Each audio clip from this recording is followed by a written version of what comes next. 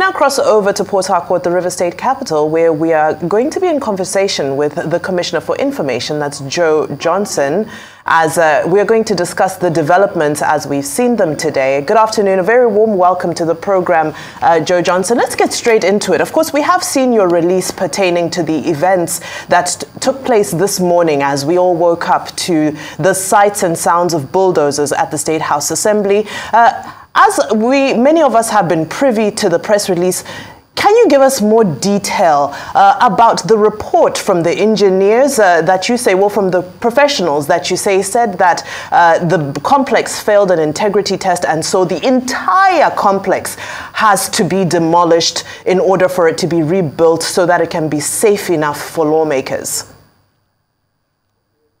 Mm.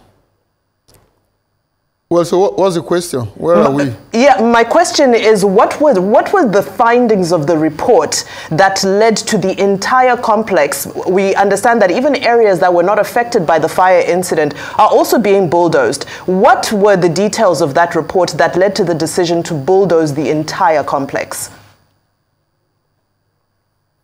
You, you I'm happy that I'm talking um, before the camera of uh, Arise which is a sister organization to ThisDay.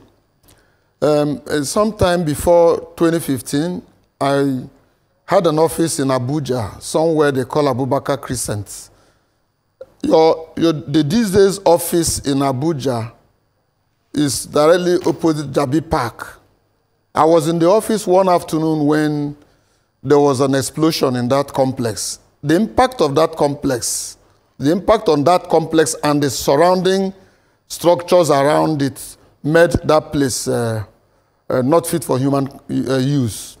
So I can imagine that what happened also at uh, the River State House of Assembly on the 29th of October, the impact from the assessment of consultants who went to, to assess the, the level of damage also had shown that uh, it had failed integrity tests.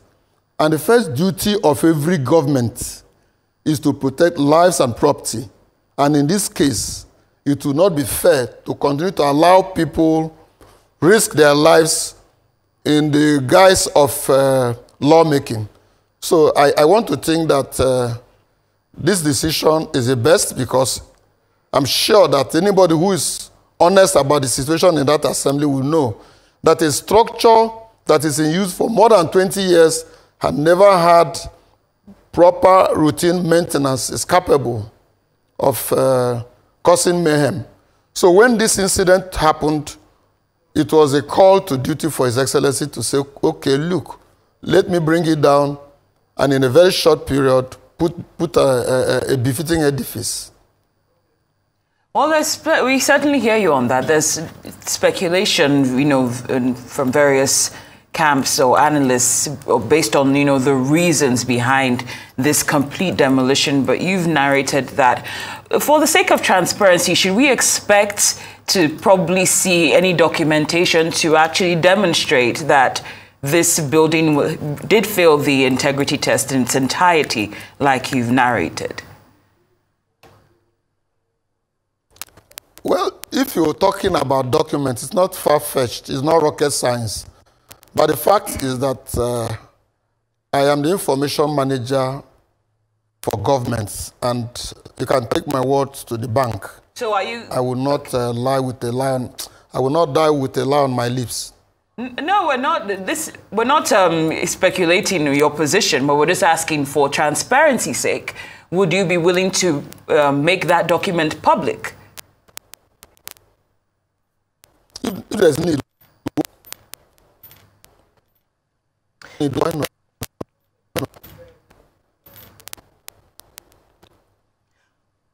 right. Well, in your release this morning, you made mention to uh, the fact that in the interim, the Rivers State government has provided an alternate, an alternative venue for the House of Assembly to conduct their affairs. That's pending the rebuilding of the complex. This morning, of course, while this was happening, we were made aware of the news that the budget was being presented inside the government house uh, with just four lawmakers present, uh, and of course, in the same proceeding, 27 uh, law lawmakers uh, whose seats were also declared vacant during that sitting. So, can you let us know where is this temporary uh, meeting place that that that will uh, the House of Assembly will be uh, meeting at? Will it be Will it continue to be at Government House? And secondly, with the, the uh, with regards to the budget presentation this morning, were all lawmakers invited? Uh, all 30 something of them were they invited, or was it just the four who have pledged their allegiance to the sitting governor? I, I don't run the business of the House of Assembly, as a matter of fact, and you know that there are three tiers. I speak for government of River State. I don't speak for the legislature I do not also speak for the judiciary. So I would restrain myself to what is within the scope of my job to say that that budget had been presented to the assembly. The temporary place that you talked about is within the confines, within the vicinity of uh, the, the proximity between the Bond Assembly and where they sat is not much. And everything is government as a matter of fact. That structure was built by government. The old one that was built, that uh, was actually the first chamber, is also the, inside the government uh, premises, which is the secretariat. You know, this is the third assembly that had been built from the inception of this uh, uh dem democracy. The first was uh, in the in the in the 70s, and then thereafter another was built. It failed integrity test, and then the government of uh, Peter Odili came and uh, put this wonderful edifice, which uh, had gone into ruins, together. Right. So, what is your comment to those who are saying that this demolition took place in order for the 27 defected lawmakers to be unable to sit? I have no answer to it. They are, they, they are it's within their right to, to speculate. I am not a mind reader to know what the minds of other people are. But my own duty is to simply situate the matter or the, the, the matter the way it ought to be. People are bound. There's no perfect situation. Once anything happens, people will take their different slants to it. Even in journalism, you know, we're taught to take slants. We, we hear you. Now, we, we spoke with our correspondent, um, Andy Omano, Omano, earlier on, and he gave a sense that there is um, dis-ease uh, with, among the Rivers people. Some of them withdrawing their children from school. Some parents withdrawing their, withdrawing their, their awards from schools and looking over their shoulder because of all the events that have played out from, you know, from this, since this began up until today. And when we spoke with you last time, you did say that everything was going in River State smoothly and that governance is, is going on without a hitch. So, what steps are being taken now that it's quite glaring that things that it's no longer business as usual in River State to make sure that this is a thing of the past and um, gov real governance can begin? No, but to, to offer somebody a new lease of life, is it anything to disrupt activities of government? The answer is no. We have uh, presented a budget. We have told Rivers people the reason for the demolition.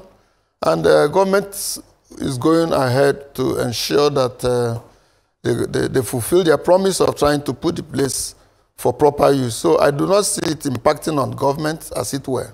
No. This is beyond the demolition. I'm talking about the events that have preceded the demolition in terms of the defection, the, the, the crisis between the Minister of FCT and the governor of River State. It's from our reports, reports we're getting, it's taking a toll on the people of River State. They don't feel a sense of safety. So what's going to be done since you're the Commissioner of Information by the River State governor to ensure that the people of River State get a sense or feel a sense of safety and go about their regular activities without looking over their shoulders? Well, I, I want to assure Rivers people that uh, River State is still peaceful. His Excellency is up and running. Government is, uh, is very caring. I can assure us that uh, the situation will come under full control. Can you give us steps that are being taken so that we get a sense that it's actually going on? There have been mediatory uh, roles going on. There, there, are not things that we just bring to the public but it is obvious that uh, quite uh, some very reasonable Rivers people, elders, uh, taking steps. Uh, last week we had uh, we had a meeting with uh, the Traditional Rulers Council, and the chairman of the council also had waded in fully. And I want to believe that when speak, I'm sure the younger ones would hear. Now, still keeping with the theme of governance, uh, earlier, of course, you made mention to the fact that the budget has been presented, and this was done to four lawmakers. Is this acceptable to you? Uh, out of over 30, uh, just four present, is this an acceptable to you, a satisfactory and a successful budget presentation?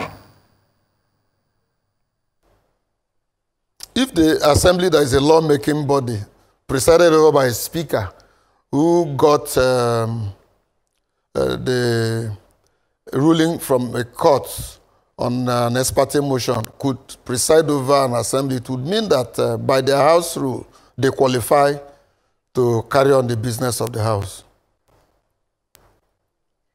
They may qualify, but do you consider it a successful outing? Why not? There was no chaos. I was there. I saw proceedings. Uh, there were there, there were other journalists fact, it was a, a media bliss, and uh, I, I, would, I would assume that uh, it went well. Okay, because uh, from the visuals that we see before us, it seems there are more journalists than lawmakers. I didn't take uh, stock of uh. Okay, the visuals are before us now. Uh, there's no need to do a head count. Four people is relatively obvious versus a room filled with journalists. All right, well, we've been in conversation with the Commissioner of Information for River State, Mr. Joe Johnson. Thank you so much for your time and thank you for bringing clarity to this uh, very, very pertinent issue taking place today.